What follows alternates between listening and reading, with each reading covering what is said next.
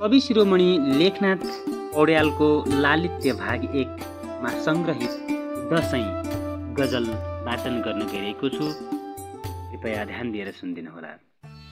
हट्यो सारा हिलो मैलो हरायो पानीको वर्षा भवानीको भयो पूजा चल्यो सानन्दको वर्षा।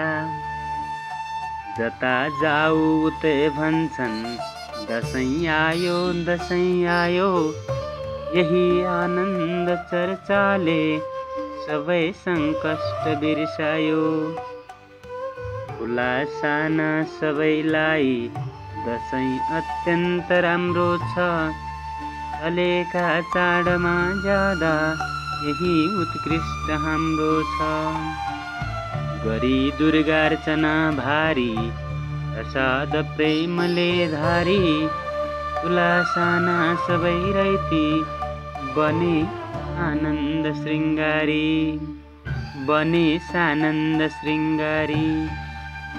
सबै राम्रा सबै ठाँटी सबै नाना तमासमा सबैका माथमा जौका पहेँला आकुरालामा सबै अत्यन्त आनन्दी। सबै छन् पिङमा दङ्ग। सबैको देखिँदै आयो। उज्यालो चेहरा रङ्ग।